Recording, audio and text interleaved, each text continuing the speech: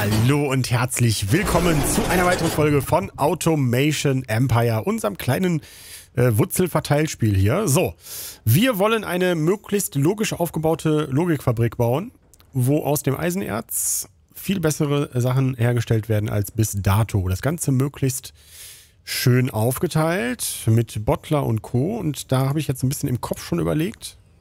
Es hätte ja auch ein Spruch sein können von Lothar Matthäus. Ne? Ich habe im Kopf überlegt, ähm, wie wir das vielleicht hinbekommen könnten. So, geht das so? Warte mal, wenn wir jetzt zum Beispiel hier... Hm, von einem anfördernden Band. Das müsste ja dann mittig sein, ne? Wie viel Öfen gehen dann auf einen Bottler drauf? Wie viel der macht? Eins pro Sekunde. Ernsthaft? Achso, ne, eins pro x Sekunden. Und dann müssen wir erst gucken, wie lange das dauert, damit wir wissen, ne? Also, die Asa und sozusagen. Wenn wir jetzt das zum Beispiel so machen würden, dass wir... Wir machen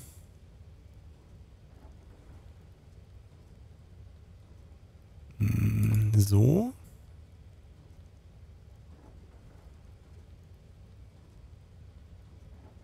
So. So. Reicht das vom Platz?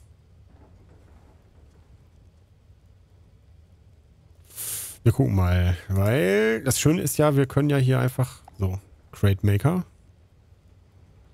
Der könnte dann hier hin. So, und dann wollte ich, wie gesagt, das Riesending, weil dann können wir noch mehrere Crate Maker hier anschließen. Aber das Problem ist, nee, das geht so nicht. Dann müssen wir das mit, mit, mit äh, Verbindungsdinger machen. Haben wir auch schon mal gemacht. Ähm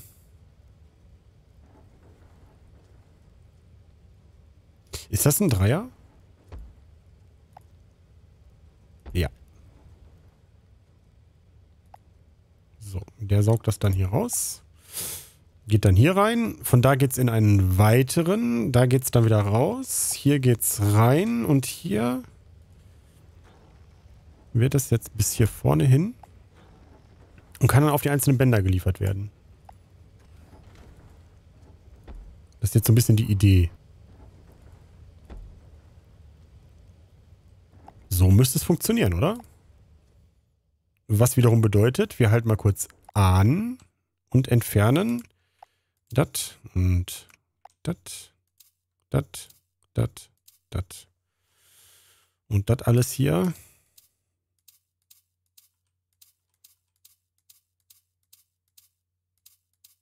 So. Und dann können wir das hier einfach, das hier, einfach hier so reinliefern. So. So. So, wie gesagt, das ist noch eine frühe Version, deswegen ruppelt das gerade so ein bisschen.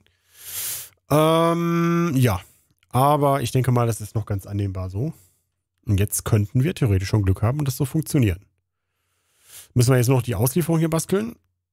Aber wir lassen schon mal die Zeit weiterlaufen, damit wir schon mal sehen können, ob das so ein bisschen so halbwegs funktioniert, wie ich mir das vorgestellt habe. So, dann haben wir hier, warum habe ich das so gemacht? Damit wir immer schön hier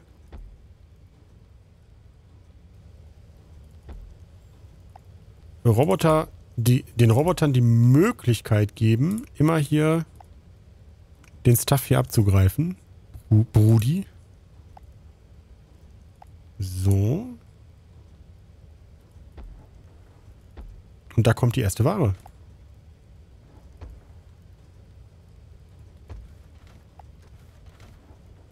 So, leere Kisten werden vernichtet. So, wie viel machen die pro Sekunde? Hier kommt das Eisen. Huch. 1 pro 11 Sekunden. Der hier macht 1 pro 3 Sekunden. Das heißt, wir könnten wahrscheinlich eigentlich 4 anschließen, ne? aber gut. So, jetzt verteilt der so lange auf das erste Band, wie die nachgefragt werden. Seht ihr? Das ist die Idee, die ich dahinter habe. Das heißt, das Band läuft nur weiter, wenn wieder Nachfrage ist. Dadurch wird jetzt alles auf das untere Band geliefert, was jetzt kommen würde. Hier kommt aber nicht genug an. Seht ihr das? Erstmal den einen Wagen macht er nicht leer, wenn ich das richtig gesehen habe. Das sollten wir vielleicht mal beheben.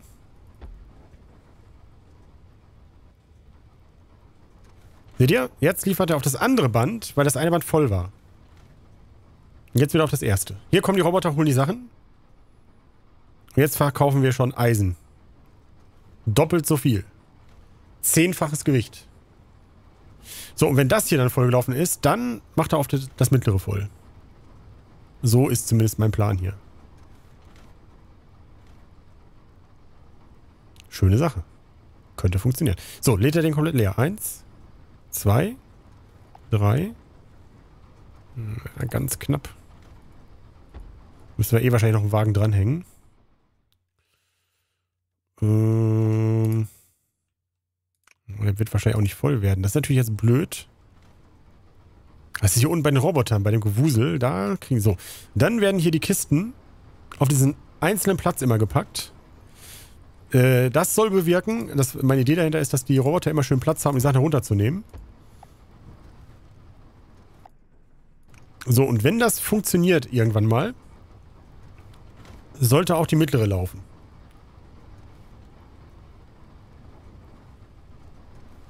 Es kommt einfach nicht genug Erz im Moment ran. Aber so wäre dann der Plan. Also die Frage ist, ob wir das hier noch ein bisschen optimieren können.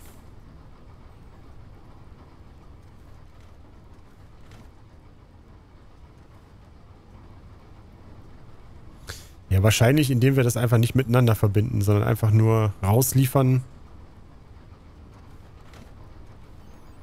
Die sind sich halt hier sehr im Weg. Also, obwohl wir das hier so halbwegs kompakt gebaut haben, wir können vielleicht noch ein bisschen zurückgehen hier mit den Maschinen, ne? Oder? Geht das? Nein, das wollte ich nicht. Den weg. Wir gehen mal so weit wie möglich zurück, weil, also diese, diese Dreier kommen jetzt, äh, sollte man eine Vierer rausmachen, das weiß ich jetzt nicht. Aber der, die hier war auch so ein bisschen blödsinnig, glaube ich.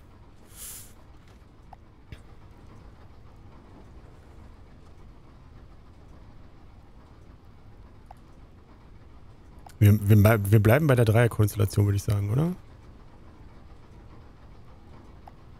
Wie war denn das jetzt? Eins alle drei und elf Sekunden. Habe ich da jetzt irgendwas falsch gedacht? 3, 6, 9, 12. Das heißt, wir könnten eigentlich 4 bedienen, oder?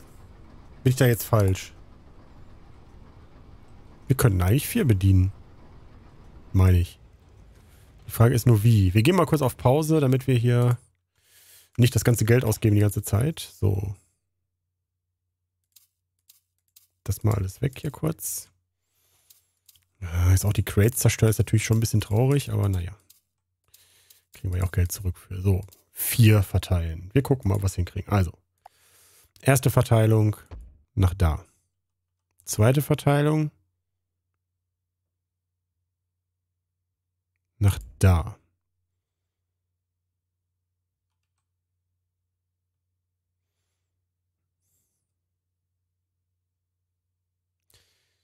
Hm, dritte Verteilung. Nach hier. Die vierte läuft durch, richtig? So. So. So. So.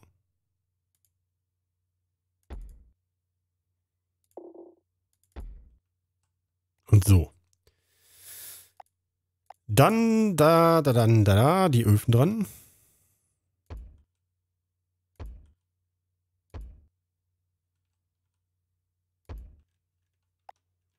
Und das müsste auch funktionieren, oder?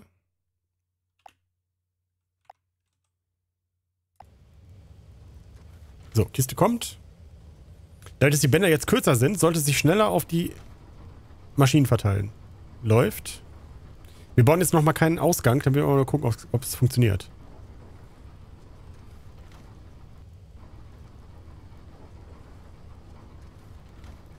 Ihr habt einen Denkfehler oder so, kann das sein?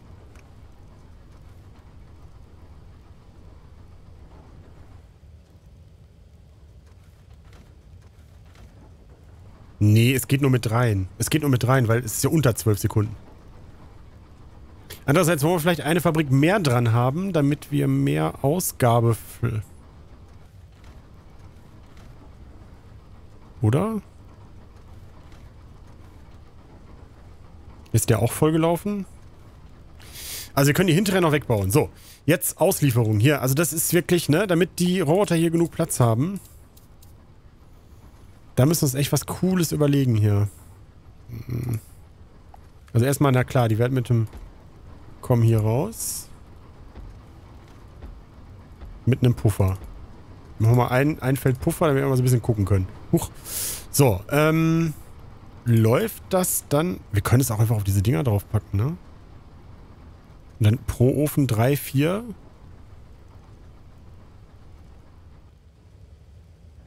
Ich habe noch eine bessere Idee. Glaube ich. Pass auf. So. So. So. So. So. Hallo? Jetzt haben wir zwar wieder das Rundlaufding, was der Garderol ja immer irgendwie haben will, aber vielleicht in einer Variante, die funktioniert. Und vielleicht seht ihr jetzt, warum ich das Spiel liebe. Das ist einfach so... Ist so schön.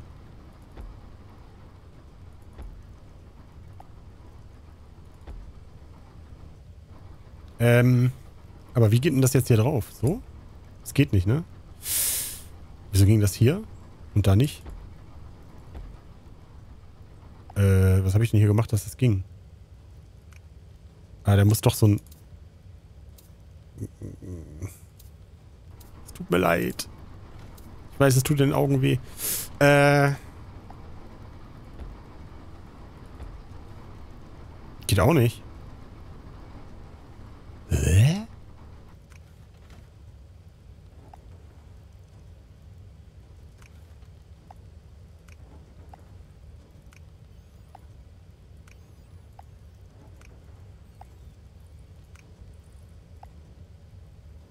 Warum laufen die nicht durch?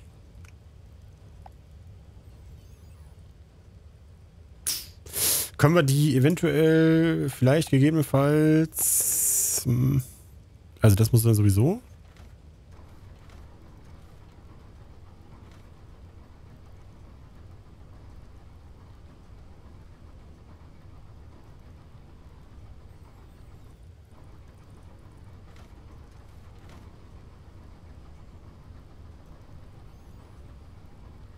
Hm. Ja gut, äh, die Idee, glaube ich, war schön. Die Ausführung nicht so. Aber da können wir jetzt direkt den Ausgangsding da dran machen. Ich wollte es halt so haben, dass die irgendwie...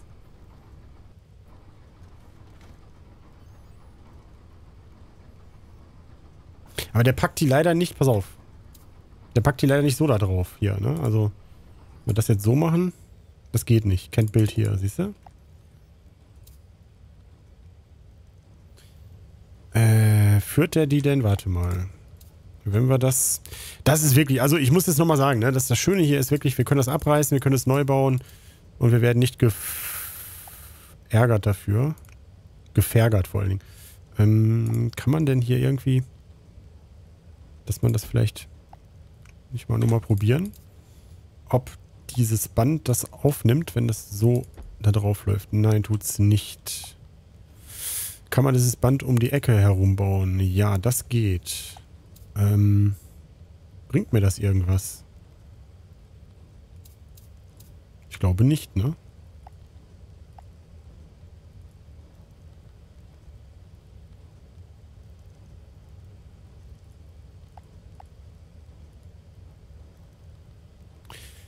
Aber ihr wisst, was ich will, ne? Dass das irgendwie so ein bisschen... Es wäre halt schön, wenn das durchlaufen würde, was es ja aus irgendeinem Grunde nicht, also ich weiß nicht, warum es das nicht tut. Also es wird ja jetzt nichts dagegen sprechen, dass man sagt, hier, das läuft jetzt durch. Und wenn ich jetzt hier eins rauslösche, dann macht er hier ein Blockade-Ding rein. Wenn ich das hier reinsetze, lässt das nicht weiterlaufen. Und ich kann auch nicht von diesem Ding hier runternehmen. Ich kann nur von den anderen runternehmen. Ich weiß, das ist jetzt total kompliziert gedacht, ne? Also es ist natürlich viel einfacher eigentlich, aber.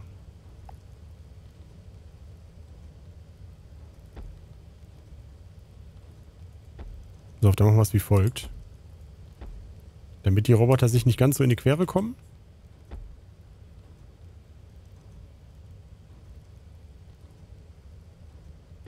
Machen wir es so.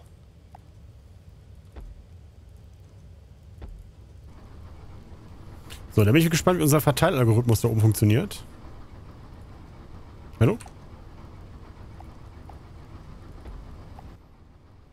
So, jetzt hier. Hi. Hi. Hi. Hi. So, wie sieht das denn aus? Jetzt kommen die da ran. Ja. Das geht, ne?